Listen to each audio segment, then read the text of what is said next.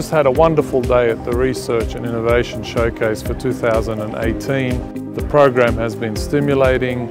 We've heard a lot about bionic humans, about big data, and we've also heard uh, a lot from our young researchers and some very exciting and innovative projects that they're involved in. We've seen them battle it out in front of judges trying to secure some funding for their research. It has been wonderful to be involved in this event, which is growing year by year and uh, showcasing really what we have in the Southwestern Sydney Area Health Service.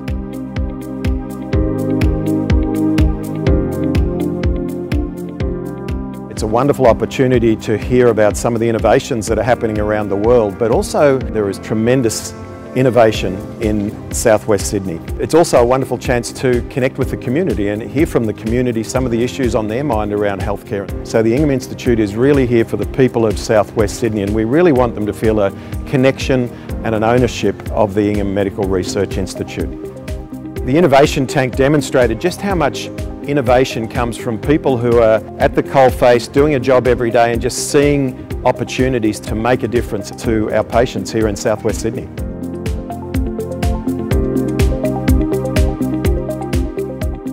The Innovation Tank was excellent because I was able to present my idea and get funding for something that usually wouldn't have the avenues to gain funding. And then I was able to present my idea and I got a lot of great support about it.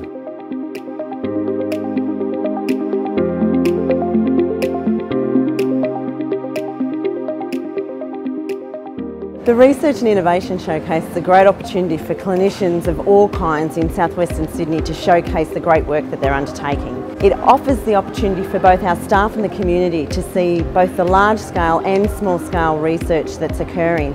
For nursing and midwifery in particular, it is fantastic to have the opportunity for our staff to see that nurses and midwives can participate in research and really make a difference for not just our staff but more importantly the patients and the community that we serve.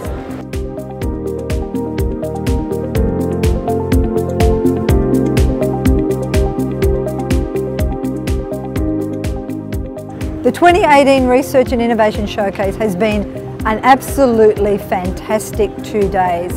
It's been our biggest event ever and really is the premier event for Southwestern Sydney and the Inghams Institute.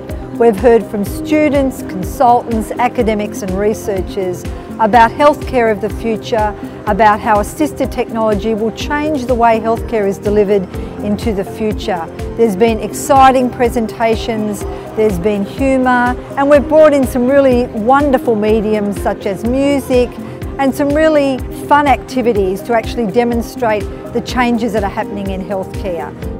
And we're excited because next year for 2019 we see it growing and getting bigger than ever.